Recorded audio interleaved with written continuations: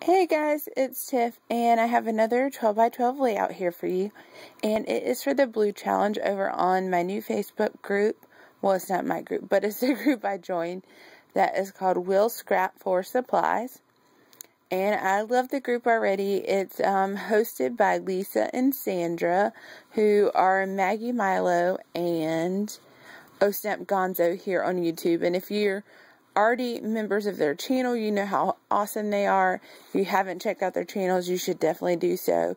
They've really been putting out some inspiring stuff lately.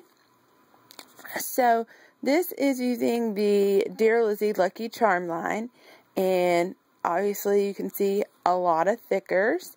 So, um, Lisa did a uh, Saturday stash dive and the focus this month is on letters. So I wanted to incorporate that along with the blue challenge. So I just pulled out a bunch of thickers and letter stickers to um, start the beginning of a song. And the song that I chose was I Hope You Dance, which um, I put ended up putting down here at the bottom. So basically this is the first two um, lines of the song. And then I wanted it to make sure I included I Hope You Dance. Um, as these photos are what made me think of it. So on this first tag here, I journaled about the actual event itself, where we're at, what we're doing, when approximately that was. So that is what's on this tag. And then on this tag is more about why this song pertains to these pictures. So basically, obvi- the obvious thing is I hope you dance because he and I were dancing. But the main thing I wanted to allude to was that I really hope that he grabs life by the horns and continues to be the sweet and wonderful son that he is at the moment. So um, that is what that journaling is about.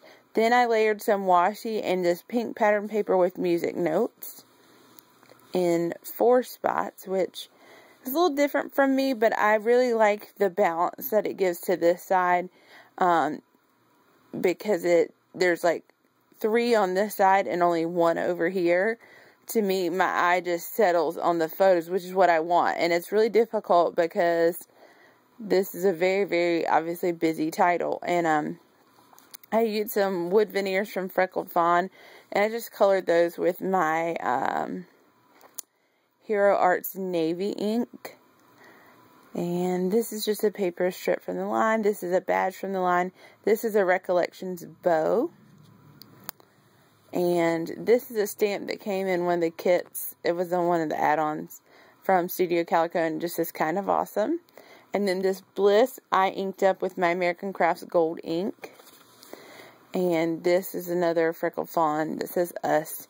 And a crepe paper paper clip that um, has a gold arrow on it. So I really like how this turned out. Um, this was from a um, I embossed it in gold um, from a Project Life kit. It's a stamp set that we got with one of the Project Life kits. So again, I really like how it looks. Um, it is a little busier than my maybe normal style.